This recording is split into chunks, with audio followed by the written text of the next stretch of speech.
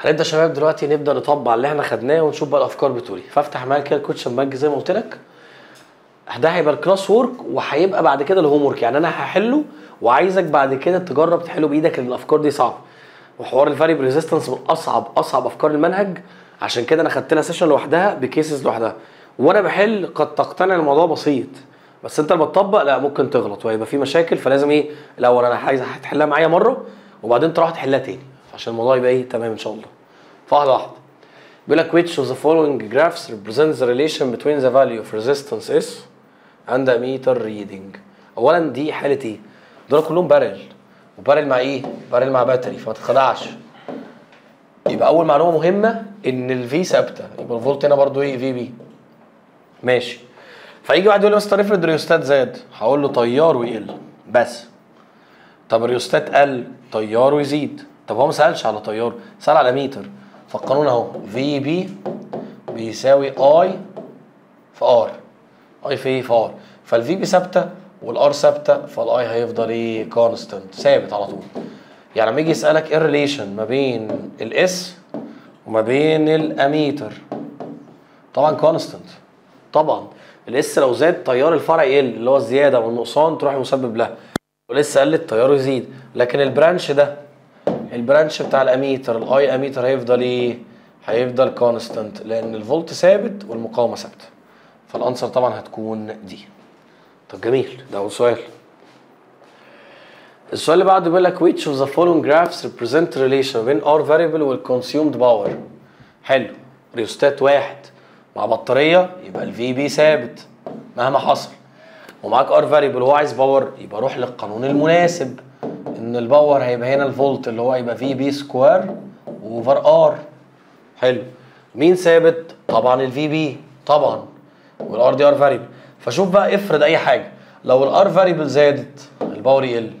طب لو ال R variable قلت ال power يزيد. يبقى هم direct ولا inverse لا inverse ال power inverse proportional مع ال R variable inverse ف inverse هتبقى واحدة؟ طبعا هتكون إيه اختيار القانون المناسب من أهم أهم يعني أولويات حل المساله ليه اخترت القانون ده؟ عشان تفكر أنا يعني زي وتبدأ تعرف بفكر كده ليه. إن ال VB constant ومعايا R وعايز أربطهم ب power يبقى انسى القانون V square على R جميل؟ جميل. number 3 فكرة خدناها بالنص. فولتميتر على battery و R variable يبقى الفولتميتر ماله؟ يتنقل. يبقى أنت هنا أهو. هتقول يا مستر النقطة دي واحد أهو. بالراجع. كل ده لحد هنا؟ نفس ال point يبقى هنا واحد. عديت على ال resistor يبقى هنا كام؟ هنا 2 كل ده لحد هنا نفس النقطة. يبقى هنا هتكون كام؟ هتكون 2 طب جميل. يعني أنا ممكن أنقل الفولتميتر تحت؟ آه. أهو بالنص قلناه. حلو. أهو. بعدين تقرأ بقى. قال لك by increasing ال R variable أهو ال R variable زادت. يبقى ال R total زادت. يبقى ال I total قلت. الفولتميتر دلوقتي على إيه؟ الفولتميتر دلوقتي على resistance يبقى الفي ايكوال إيه؟ اي في ار فال I قلت يبقى ال V ماله يحصل له؟ يحصل له طبعا decrease يبقى ال answer decrease طب في طريقة ثانية آه تعال نشوف ال mental اللي R أعلى V هو أعلى. مش ده زاد يا باشا؟ خلاص يبقى ده حصل له إيه؟ حصل له increase يبقى نصيبه زاد من الفولت. يبقى نصيب ده حصل له إيه؟ الفولت هنا. حصل له decrease على طول. وتبقى عارف إن الفولتميتر بيقرأ اللي تحت في ال answer خطوة واحدة decrease فال answer طبعا هيكون B ماشي. السؤال اللي بعده يا شباب number 4 بيقول لك in the circuit shown when the variable resistance increase هو نحل تقليدي. لو ال S زادت يبقى ال S هتزيد ودول series يبقى ال R total هتزيد. فده هيؤدي إن ال I total هيقل. تروح لل V 2 أسهل. ال V 2 بيساوي I في R ال R دي ثابتة. وال I حصل له إيه؟ حصل له decrease يبقى ال V 2 يحصل له إيه؟ يحصل له decrease أهو. طب جميل؟ جميل. أو بال mental بص بال mental اللي R أعلى إيه؟ V أعلى. مش ال S دي حصل لها increase يبقى الفولت هنا حصل له increase يبقى خد من نصيب اللي جنبه. فده يحصل له إيه؟ قال لك الفولت هنا يحصل له decrease طب ما ده اللي وصلت له. ماشي. طب بعدين يبقى V 2 decrease V 2 decrease يبقى كده هي هتبقى B تعال نتأكد بقى. V 1 بص هنا ال R صغننة دي مش وقتها هي في lesson 3 بس لو عايز تعرفها من باب العلم اعتبرها مقاومة جنب البطارية. ف V 1 يقرا يقرا ال VB minus ال drop الخسارة اللي هي إيه I R small. ال I حصل له إيه؟ ال current قل اهو فال current لما يقل الفولت اللي هنا ده قيمته تقل. فده لما يقل لازم الناتج ال minus يزيد يحصل له increase اهو أكنك بتقول مثلا إيه؟ بتقول 10 minus 2 بتساوي 8 بقت 10 minus 1 بتساوي كام؟ 9 يبقى حصل هنا هنا إيه؟ حصل طبعا increase أهو. لو الفولت اللي هنا قل يبقى الناتج في 1 هيحصل له increase كده كده دي مش وقتها قوي دلوقتي.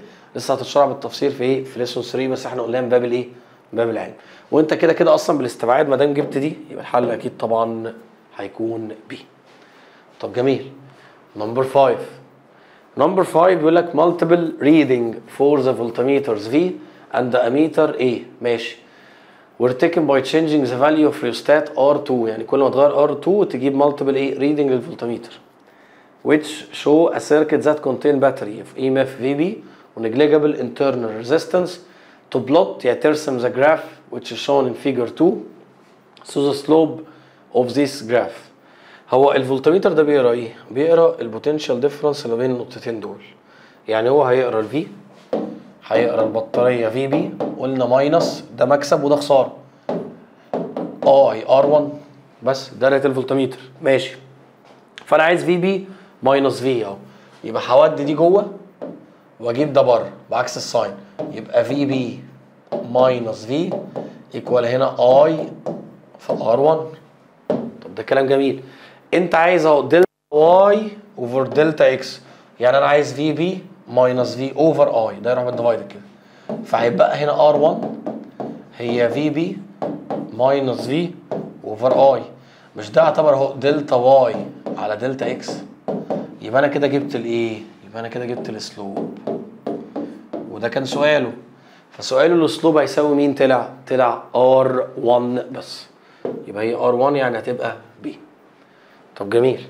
تعال اللي بعده number 6 تطبيق على اللي إحنا قلناه. تاني in the opposite figure what will happen to the reading of V1 و V2 by increasing R1 لما R1 تزيد نحل تقليدي. لما R1 تزيد R total هتزيد. عشان هما series يبقى I total هيقل. نروح لمين؟ نروح للفولتميتر الثابت V2 ف V2 هو عبارة عن I في R2 جميل. هل ده اتغير؟ لا. وال I قل فال V هيقل يبقى ده decrease يبقى V2 decreases طب و V1 اتجاب كده اهو. B هو V1 plus V2 ده ثابت. و V2 حصل له decrease يبقى V1 حصل له إيه؟ V1 حصل له increase أو بطريقة بسيطة إن أنا عارف دايما إن ال R variable direct مع الفولت اهو فاللي R ه أعلى V ه اعلى فال R دي زادت يبقى ال V هيزيد خد بالنصيب اللي جنبه يبقى اللي جنبه decreases يعني هتبقى V1 increases و V2 decreases. هتكون إيه؟ طب جميل. number 7 بيقول لك which of the following graphs represents the relation between ammeter A1 and A2 by changing rheostat R. حلو. بص عايز أقول لك إن الريوستات هنا مش هو قصتنا. ليه؟ لأن أي تغير هنا هيغير في ال R total فهيغير في ال I total فأنا ممكن ما أهتمش. وركز في الكلام اللي أنا بقوله. إزاي؟ افرض يا عم ال current بجمعهم. افرض ال current بجمعهم. 3 و6 9 أمبير. وبعدين قسموا عكسهم. مش دي قلناها 1000 مرة؟ فالتلاتة تاخد إيه؟ 6 أمبير. والستة تاخد إيه؟ 3 أمبير. طب ده يفيدني بإيه بقى؟ إن لما أجيب نسب أهو A1 على A2 النسب هتساوي إيه؟ هتساوي 9 على 6 9 over 6 يعني بتتكلم 3 over 2 3 ل 2 يعني لما أجي أرسم كده أهو. طب هتقول لي يا مستر هو يعني لو تغير ريستات ما هو تغير ريستات هيغير في ال current كله اللي في ال circuit ده وده وده بنفس النسب. مش كده بقول لك ملوش لازمة قوي فيبقى هنا عندي اي 2 وهنا عندي اي 1 فأميتر 2 بيقرأ اي إيه اي 2 وأميتر 1 بيقرأ إيه اي 1 يعني لازم هنا مربعين لثلاث مربعات بالمنظر ده. أهو ده شرح السؤال. طب دي موجودة فين؟ مربعين لثلاثه أهو بص أدي مربع أدي اتنين أدي واحد اتنين تلاتة. يعني ال answer هيكون مين؟ هيكون طبعا إيه؟ فكرة؟ محترمة إيه؟ جدا. فكرة محترمة جدا. يبقى ممكن يخدعك بفكرة الريستات وهو ملوش أي لازمة. طب جميل. تعالى number 8 نفس اللعبة. نفس اللعبة. أهو في ريوستات. ما هو الريوستات ده لو اتغير زاد أو قل ال current اللي هيمشي هنا وهنا. ما ده series لأن ال current هيطلع كده. فالاثنين هي هيتغير عليهم بنفس المقدار. فهو كأنه ما اتغيرش. فنشتغل إزاي؟ إن في ال series أهو. الحمد لله. V equal إيه I R في ال series ال I ماله ال I constant في ال series ال I constant ال I ماله constant فده معناه إن ال V direct على مين؟ ال V direct على ال R يعني اللي R ه أعلى V ه أعلى. فكل هعمله اهو أنت عارف إن V2 مثلا to V1 بنفس ratio resistance يبقى 6 to 3 يعني 2 to 1 يبقى لازم V2 دبل في 1 في 2 دبل في 1 بص هنا في النص بالظبط. غلط. هنا هل في 2 ده مربعين و V1 أربع مربعات؟ لا ده العكس ده V1 double V2 double واحد اتنين تلاتة أربعة. وده أربعة. وهنا واحد اتنين. أهو لحد هنا كده. ده اتنين. يبقى فعلا ده double ده؟ أهو 4 over 2 اللي هي بتطلع إيه؟ 2 over 1 فال answer تكون C برضه ما استخدمتش الريوستات يعني افكار زي دي الريوستات ملهاش إيه لازمة. أو بيشوفك عارف النسب ولا لأ. نسب ال voltage في ال series علاقته بال resistance واللي قبله كان نسب ال current في ال parallel وعلاقه ال current branch بالإيه؟ بال I total طب جميل. number 9 بص بيقول لك إيه؟ بيقول لك in the shown circuit dissipated electric power. Dissipated يعني consumed المستهلكة. Through resistor 9 ohm كان 36 watt طب أنا هنا مهم قوي الكلام ده. ليه بقى؟ أنا هبدأ أتدلع. إن ال power I square في R فال power ده 36 بيساوي I square هنا في 9 فهودي بال divided فتطلع 4 هي ال I square يبقى ال I بكام يا معلم؟ آخد root أهو كده. فتطلع 2 إيه 2 امبير يبقى أنا كده جبت الايه ال I اللي ماشي هنا. حلو. ال I ماشي هنا 2 ampere فال I اللي ماشي هنا هيبقى 1 امبير بعكس ال ratio عشان يفضل ال V constant وخلاص ال power ده قصته خلصت معايا.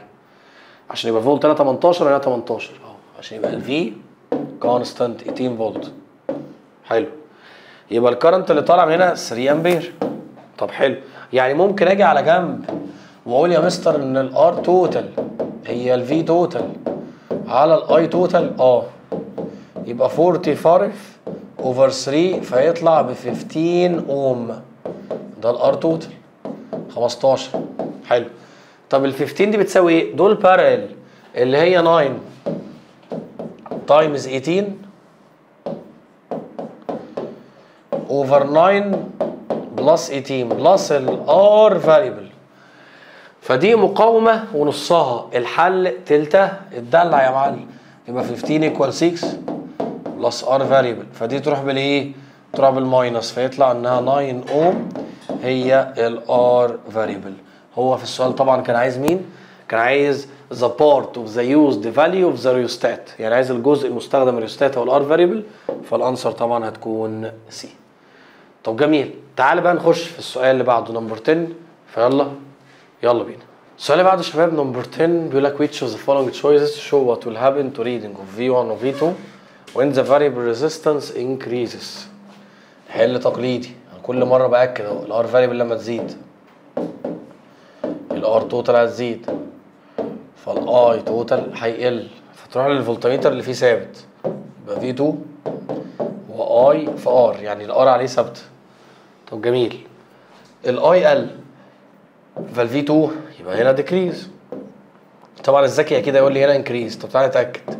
ال VB هي V1 plus V2 ده ثابت. و V2 decreases يبقى V1 حصل له إيه؟ V1 حصل له increase لأن لازم جنبهم قيمة ثابتة. أو تقول لي اللي R أعلى. ابص على طول V أو إيه؟ V أو أعلى واللي R أقل V أو أقل. فاللي حصل إن ال R هنا زادت فالفولت هنا زاد. يبقى ده نصيبه إيه؟ قل فهيبقى decrease فالحالة طبعا increase و decrease يعني هتكون C طب جميل. تعال اللي بعده. سؤال جاء في امتحان مصر 22 20 22 الدور الثاني in the shown closed electric circuit when the value of resistance R is increased. ده R variable. بس خلي بالك الدايرة ما فيهاش غيرها. فالفولت اللي فوق VB فال volt ال volt اللي تحت VB ال potential difference ثابت وهتخدع يعني V1 بيقرأ قد V2 والاثنين بيساووا VB طب يا مستر والريوستات مفيش مشكلة. لو ال R دي زادت ال I يقل والاثنين بقى تغيرهم قد بعض عشان يفضل ال VB إيه constant طب بال pointing النقطة دي لو واحد كل ده لحد هنا؟ والله برضو بواحد. هنا 1 وهنا 1 طب انت عديت على resistance فبقت نقطة جديدة. فالنقطة دي لو باتنين يبقى كل ده لحد هنا؟ هيبقى كام؟ هيبقى باتنين. فهتلاقي الاتنين بيقروا نفس الحاجة. اللي هي إيه؟ اللي هي VB فطبعا هنا الريوستات ما يأثرش. ودي كانت ال case الأولى اللي اتكلمنا عليها لو في R variable بس والفولتميتر عليها هي بتقرا البطارية يبقى الفولت عليها دايما constant يبقى اني unchanged. طب جميل. Number 12 in the shown electric circuit the resistance S is increased the voltmeter reading. تاني إحنا قلنا إيه؟ ال S لو زادت فال R أعلى V هو أعلى. S لو زادت يبقى ال R المجموعة group هتزيد. يبقى ال R total هتزيد. فال I total هيقل. ده التقليدي. فال I لما يقل تروح للفولتميتر. هو بيقرا I في R2 هل R2 اتغيرت؟ لا. R2 constant طب جميل. وال I ماله؟ وال I قل فال V يحصل له إيه؟ ال V يحصل له decreases أهو. ال V هيحصل له طبعا decreases أو بالمنطق السريع جدا اللي R أعلى V أعلى في الفولت هنا زايد يبقى أكيد نصيب اللي جنبه يحصل له decrease بمنتهى البساطة. فال answer هتكون decrease يعني إيه؟ دي number 12 السؤال اللي بعده يا شباب number 13 بيقول لك in the opposite electric circuit diagram when the variable resistance ال S increase. فطبيعي لما ال S دي تزيد ال I يحصل له إيه؟ ال I total يحصل له decrease وال I ده series يعني قيمة ال I اللي هيطلع من البطارية قيمته هتقل. بس هيفضل في كل الدايرة لازم ثابت وده اللي اتعلمناه أصلا من أول لسه. فيبقى كل النقط مفيش نقطة أعلى من تانية بس قيمته هتقل. يبقى decreases to same value at all points throughout the circuit طبعا. ما ينفعش تقول لي ألف نقطة ونقطة unchanged. طبعا ده غلط. أو في نقطة أعلى من نقطة غلط. أو remains unchanged من الأول طبعا غلط. يبقى هو هيقل أكيد وهيفضل في كل الدايرة بنفس القيمة. فال answer هيكون دي number 14 في سؤالين تقال قوي 14 و16 فركز معايا. قال لك in the opposite electric circuit when the variable resistance ال S ماله بقى ال S ال S يا معلم حصل له increase فال R group اللي أنا علمت عليها دي أو ال R group كلها يحصل لها إيه؟ increase مش ال S زادت؟ يبقى المجموعة دي كلها مقاومتها زادت وأنا علمتك. إن لو ال value بتاعت resistance زادت سواء series أو parallel ال R هتزيد. ماشي. طب ده هيؤدي إيه؟ إن الار أعلى في هو إيه في الجروب. في الجروب هيزيد. يبقى في الجروب اللي هنا ده هيحصل له انكريز عشان الار أعلى في أعلى. حلو. طب ما الفي الجروب ده بيساوي اي في ار امسك بقى البرانش هو عايزه بيساوي على متر. أول هنا لحد هنا. بيساوي اي في إيه في ار هل الار دي اتغيرت؟ بمنتهى البساطة لا ثابتة. والفي جروب زادت. طب جميل. يبقى أكيد ال I هيحصل له إيه؟ increase اهو بمنتهى البساطة. فيحصل increase يبقى تاني. بتشوف الريوستات حصل له إيه؟ زاد. يبقى المجموعة دي لأن قلنا أي زيادة قيمة بتزود قيمة. المجموعة دي مقاومتها زادت. يبقى فولت المجموعة هيزيد. عشان قلنا دايما ال R direct إيه؟ مع ال V يبقى الفولت هيزيد. فولت المجموعة زاد. الأميتر بيقرا ال current اللي ماشي هنا. من أول النقطة دي لحد النقطة دي. بتقول V group I في R ال R هنا ثابتة وال V زاد يبقى أكيد ال current increase طب جميل. number 15 بيقول لك in the opposite diagram part of electric circuit include fixed resistors. X و z 3000 و 3000 ماشي. While y a variable بيتغير من zero خلي بالك أهو. R variable من zero لحد 3000 فالذكي يقول لي يا مستر لو دي ب zero إن هو هيغيره ها. عايز ال potential difference V across the point A و B. لو هو ب zero الرسمة هتكون كده. ادي resistance وادي resistance دي ب 3000 ودي ب 3000 حلو. طب جميل. ساعتها ده هيتقسم عليهم ال 9 فولت بالتساوي فده ياخد 4.5 وده 4.5 في طب جميل. حلو قوي يبقى ده 4 ونص وده 4 ونص. فهتبقى دي نقطة A وادي نقطة B. ففي الحالة دي هتقرا كام ال V؟ أهو ال V الفولت اللي أنا عايزه هيبقى 4.5 طب دي case 1 case 2 لو ده بقى زاد من 0 ل 3000 فتقوم جاي اعمل كده. آدي 3000 وادي 3000 وادي 3000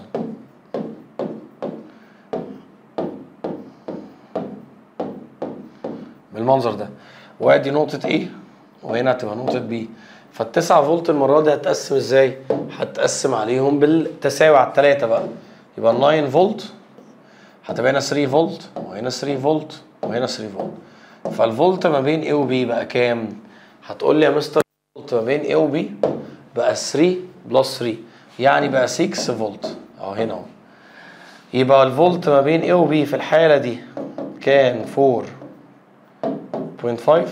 وهنا الفولت ما بين A و B كان أو بقى 6 فولت يبقى increase from 4.5 to A to 6 فولت يبقى increase from 4.5 to 6 فولت دي number 15 number 16 ركز كده معايا شبه number 14 The opposite diagram represent closed electric circuit so when the variable resistance decreases لما ال S تقل تاني ال R أقل V أقل لما ال S تقل يبقى المجموعة دي أو ال R group هتقل. ال R group مالها؟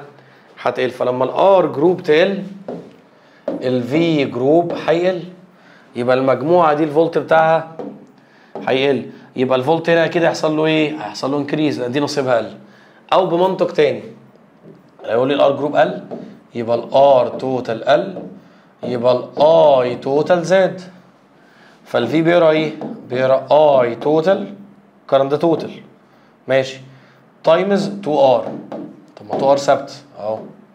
وال I total زاد فال V هنا يحصل له طبعا increase أهو بيأكد كلامي إن ال V increase ال R أقل V أقل ونصيبه قل يبقى نصيب اللي جنبه يزيد. فاضل لي الأميتر. اميتر جوه ال V group ال V group هيساوي هنا I أميتر في 2 R لأن الفولتين قد الفولتين عشان parallel فال V group قل حلو. وال2 R ثابتين. فال I أميتر يحصل له إيه؟ يحصل له طبعا decrease يبقى ال answer الأميتر decreases والفولتميتر increases يبقى increase decrease هتكون B طب جميل. آخر سؤال عندنا في القصة بتاعتنا دي. بيقول لك in the opposite circuit if the sliding contact. Of the rheostat is moved from to y ال contact هيتحرك من x ل y ماشي.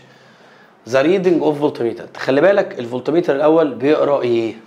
يبقى لازم تعمل pointing بعد إذنك. لو النقطة دي X كل ده نفس السلك. يعني ممكن أقول النقطة دي X برضو آه. طب لو النقطة دي Y ما كل ده نفس السلك. يعني ممكن أقول النقطة دي Y. يعني كده الفولتميتر ممكن يتنقل تحت ونقول الفولتميتر بيقرأ البطارية آه. يبقى بيقرأ VB طب ما ال VB دايما constant والله آه. فما تتخدعش بال slider أو الريوستات يبقى الحل دايما هيبقى إيه؟ طبعا remains unchanged. طب أشرحها لك بطريقة تانية. ده ما أنت فهمت حوار unchanged ده. هو الريوستات لما يتحرك لهنا.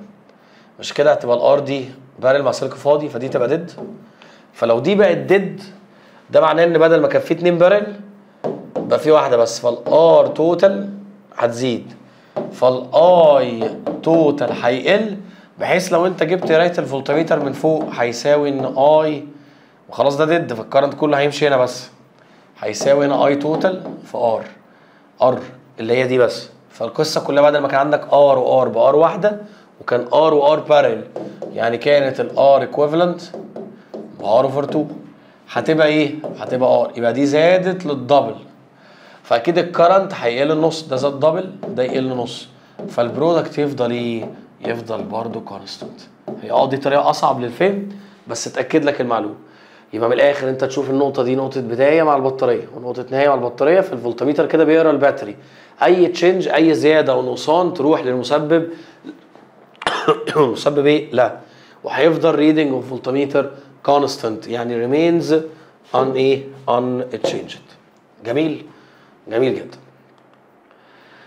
أتمنى الناس تكون إيه فهمت الجزء ده بعمق ويبقى بسيط وأنا قلت لك ال homework أنت هتعيد على الكلام ده وأنا عايزك تحله بإيدك تاني. يبقى ال variable يتحل كله بالتفصيل ال 17 question ده ال homework إيه كمان؟ زود لي بقى ال R equivalent قفل لي المواضيع كلها. ان ال R equivalent إحنا وقفنا عند 60 فخلص لي من 60 لحد 80 لحد 84 كله يخلص. جميل؟ هيبقى فاضل لنا موضوع واحد اللي هو ال elimination أول اضافه إن شاء الله هيبقى في في ال session الجاي. فأنا عايزك كده تبدأ تطبق بإيدك وتحل ال variable كله أنت اتفرجت عليا كده وفهمت بعمق عشان فيه أفكار تقيلة.